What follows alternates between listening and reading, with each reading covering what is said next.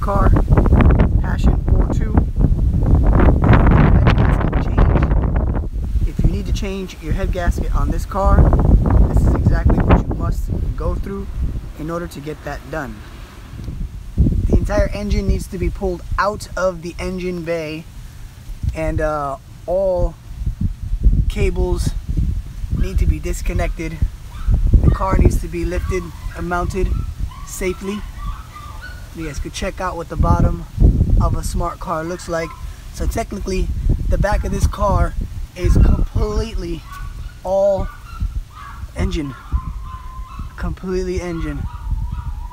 So this is what it looks like once you pull out the uh, engine assembly with uh, everything attached, wheels included. This right here is the engine, I guess I would call it an assembly. It's the engine bay assembly. Uh, you have the engine complete in its frame with the rear axle. Everything is connected. Um, I'm fairly uneducated with the uh, terminologies uh, to be specific with what this might be called in its current state and form. Nonetheless, this is what it looks like.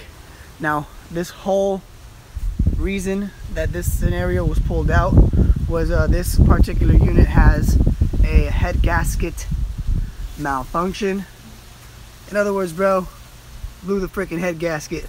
So now the second part of this entire scenario is the head gasket needs to be removed. Now, when you're looking at this engine in this form, you know, it looks like a pretty big engine. It looks pretty cool. But when that thing is stuck inside of the car, no. It's a very difficult scenario.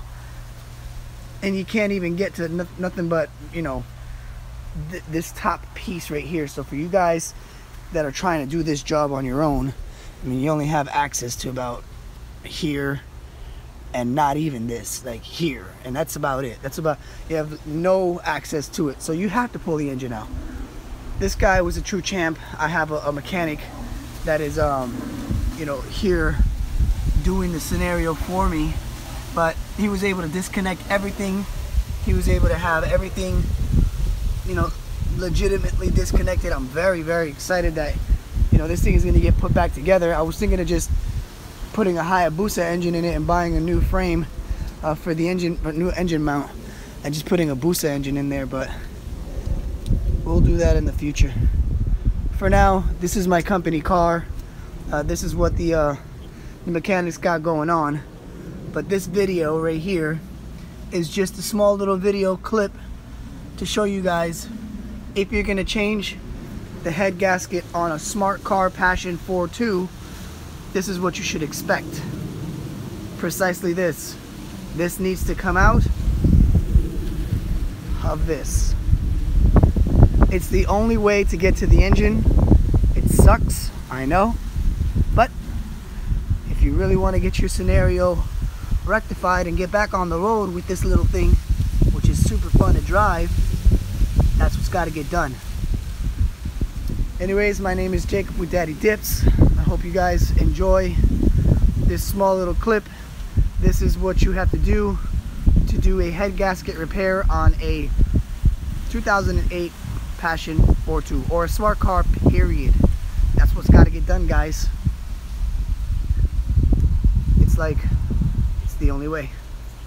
Unfortunately, it's the only way. And for those of you guys wondering what price might be for something like this, how much is it going to cost?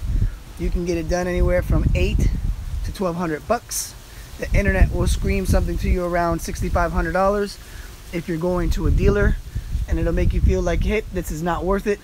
But trust me, if you got low mileage on the car, it's 100% worth it. This one has low mileage on it. I don't know why the head gasket went bad on this one, but once it's repaired, be back up and running with this fun little thing.